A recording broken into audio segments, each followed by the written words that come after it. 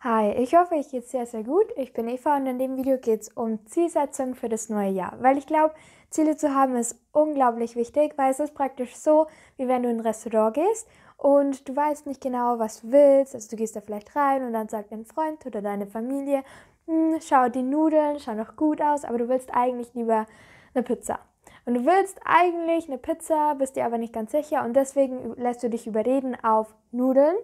Und dann kriegst du die Nudeln und du bist enttäuscht, weil es keine Pizza ist. Aber du kannst nicht wirklich deine Familie oder, irgend, oder den Kellner oder irgendwas irgendwie sagen, ja, ihr seid schuld, dass ich, ne, dass ich Nudeln habe, weil du warst dir einfach nicht klar, was du wolltest. Wohingegen, wenn du dir klar bist, was du eigentlich willst, also zum Beispiel eine Pizza, ist es viel, viel, viel, viel, viel einfacher, dass du dann deine Pizza auch bekommst und dann am Ende eben auch glücklich darüber bist. Deswegen glaube ich, ist es sehr, sehr, sehr hilfreich, wenn man sich klar wird, was will man eigentlich im neuen Jahr erreichen, dass man einfach immer schaut, okay, was habe ich im alten Jahr erreicht, wofür bin ich da dankbar und was will ich noch erreichen oder woran könnte ich noch arbeiten. Und ich versuche praktisch, dass ich mir jedes Jahr mindestens so 19 Ziele setze, die ich ähm, dran arbeiten will. Und ich würde euch einfach mal meine Ziele so zeigen, dass ihr vielleicht eine, eine Ahnung habt, was für Ziele man eigentlich haben kann.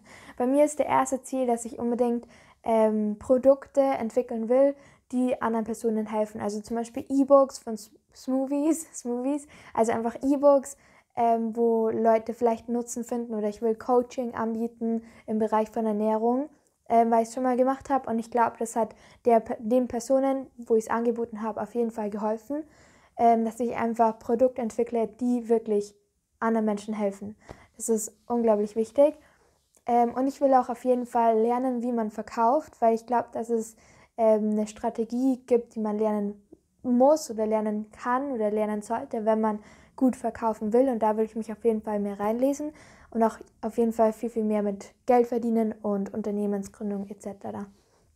Der zweite Punkt ist, dass ich im Moment studiere und ich würde wahnsinnig gerne ins Ausland gehen, weil ich lebe noch bei meinen Eltern und ich würde wahnsinnig gerne einfach von daheim mal ausziehen und einfach einen anderen Blickwinkel auf die Welt bekommen, weil es ist, glaube ich, ein großer, großer Unterschied, wo man lebt, ob man alleine lebt.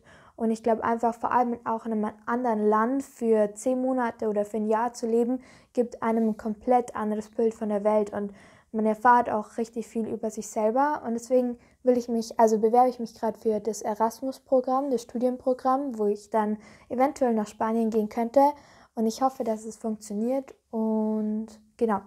Dann gibt es noch den Punkt, ähm, dass ich auf jeden Fall versuche, auch mehr Inhalt zu bringen, der hilfreich ist, also vielleicht inspirierend oder hilfreich oder informativ auf YouTube oder auch auf Instagram, dass ich das auf jeden Fall aufrechterhalte und dass ich einfach andere Menschen hoffentlich inspiriere oder anderen Menschen helfe, weil es gibt mir auf jeden Fall ein Gefühl von Wichtig, Wichtigkeit oder genau einfach, dass ich da noch mehr machen will. Ähm, dann gibt es auch den Punkt, dass ich auf jeden Fall Tanzen weiterhin eine Priorität in meinem Leben lassen will. Also weil Tanzen mir so viel hilft, auch ähm, nicht nur vom körperlichen her, dass es ein unglaublich cooler Sport ist, der Spaß macht, sondern einfach mental ist es richtig cool, weil es die Sportart ist, die mir wirklich am meisten Spaß macht. Und es ist nicht nur für mich ein Sport, sondern auch ein Punkt, wo man sich ähm, praktisch ausdrücken kann, ähm, seine Gefühle tanzen praktisch. Also es ist, ich finde daran ist definitiv was Wahres dran. Ähm, genau, das will ich definitiv aufrechterhalten. Und ich finde es auch so unglaublich, weil ich mache Paartanz, also Bachata und Salsa und sowas. Ich finde es auch gut, weil man trifft wirklich neue Leute. Man kommt schnell mit neuen Leuten in Kontakt, ohne irgendwie ähm, dabei Substanzen zu haben, wie zum Beispiel Alkohol oder so. Deswegen finde ich es wahnsinnig gut und ich will es auf jeden Fall aufrecht erhalten, weiterhin zu Tanzkursen gehen etc. Ähm, dann gibt es noch den Punkt, dass ich versuche, jeden Tag dankbar zu sein für so viele Dinge, weil egal was man in seinem Leben erreicht, es kommen immer wieder neue Herausforderungen. Das ist einfach das Leben. Und klar, es ist besser, wenn man sportlich ist und ähm, aktiv ist, aber wenn man das Ziel erreicht hat, dass man abgenommen hat, dass man sportlich ist, hat man neue Herausforderungen, zum Beispiel Beziehung. Das heißt, für mich ist es wichtig, dass ich wirklich jeden Tag mich daran erinnere, okay, was sind die Punkte, wofür ich dankbar sein kann. Ähm, einfach, dass ich die Dinge nicht als selbstverständlich nehme und dass ich wirklich mir am Tag nur eine Minute, wenn es auch ist, einfach nur eine Zeit nehmen, kurz einzuatmen und auszuatmen und mir zu überlegen, okay, was ist das, was ich, für was ich heute dankbar bin. Ähm, dann gibt es natürlich auch, dass ich unbedingt ähm, ein Re Retreat geben will, also dass ich ähm, entweder Plan oder tatsächlich ein Retreat gebe, weil ich finde es so eine coole Idee, Retreats zu geben. Also, dass man zum Beispiel ähm, in ein anderes Land geht, wie Teneriffa, wo ich gerne hin würde, oder ähm, da dann einfach eine Gruppe von Menschen ist und dann zusammen ein Programm macht. Also zum Beispiel die Hälfte des Tages über Rohkost, vegan lernt und ähm, Gruppen macht, wo man über diese Themen redet und dann die andere Hälfte des Tages gemeinsame Aktivitäten macht, wie zum Beispiel Surfen oder wie zum Beispiel ähm, wandern gehen oder ähm, kulturelle Dinge erleben wie Konzerte oder sowas, dass man da einfach ähm, oder gemeinsames Singen, gemeinsames Meditieren, was auch immer, dass man oder Sportaktivitäten wie Yoga, Acro-Yoga, Bodyworkout, das wäre wirklich, wirklich mein Ziel, weil ich glaube, es ist eine fantastische Weise, nicht nur Geld zu verdienen, weil man für sich selber was macht, sondern auch für die anderen Menschen was macht. Und es ist, es ist so schön. Und ich kenne ein paar Leute, die geben Retreats und ich finde die Idee einfach unglaublich gut.